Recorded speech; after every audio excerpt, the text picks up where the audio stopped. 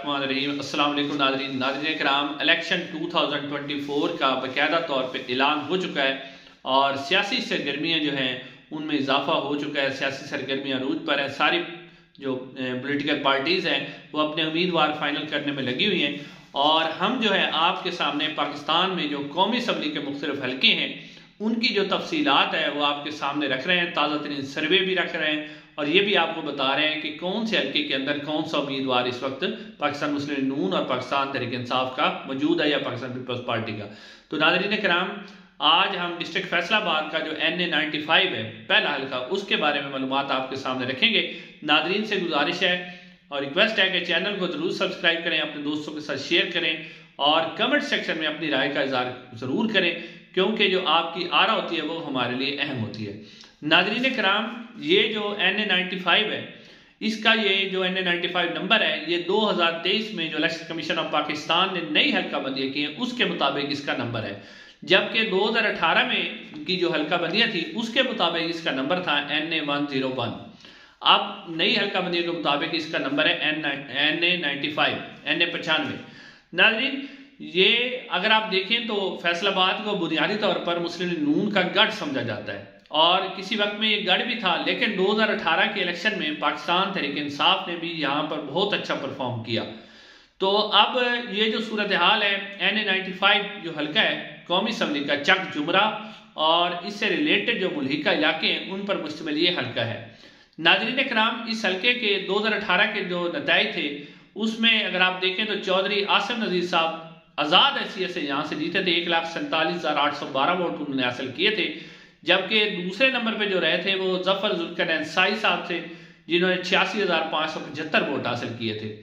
लेकिन अब यहाँ पर पाकिस्तान तरीके इंसाफ की तरफ़ से जो कागजात नामजदगी जमा करवाए हैं, वो हैं अली अफजल साई साहब ने।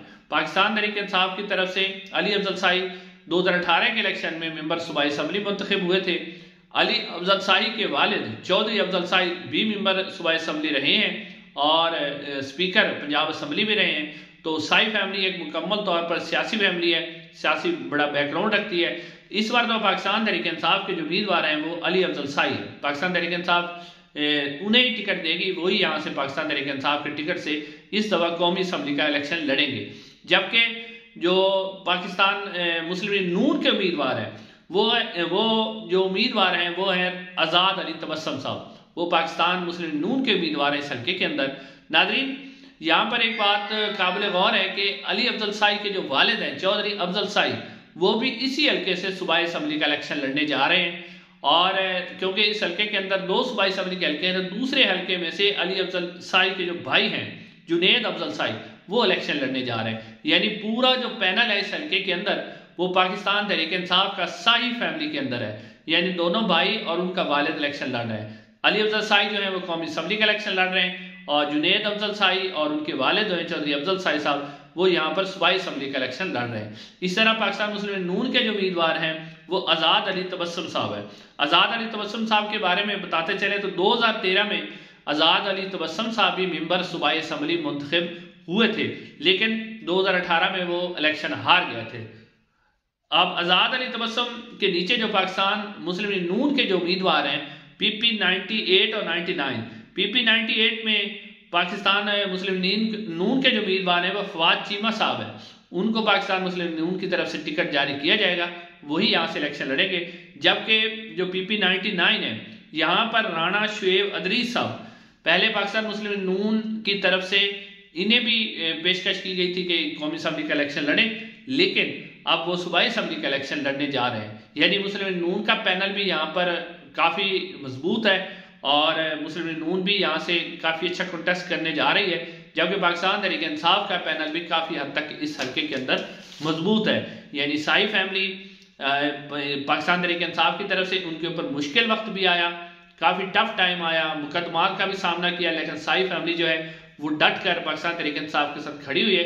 और पाकिस्तान तरीके इंसाफ की तरफ़ से उनके टिकट भी फाइनल हो चुके हैं। तो अब इस हल्के के जो सर्वेज हैं, वो ये बता रहे हैं, इस वक्त तक के जो सर्वेज मुख्तलिफ़ सोशल मीडिया पेजेस पर ऑन ग्राउंड जाकर लोगों ने सर्वेज किए हैं।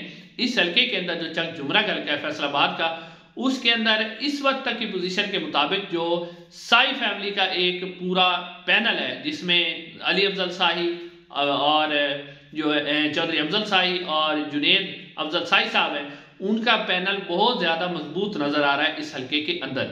जबकि पाकिस्तान मुस्लिम नून का जो पैनल है, एक तो यहाँ पर पाकिस्तान मुस्लिम नून के पैनल के अंदर इख्तलाफात भी हैं।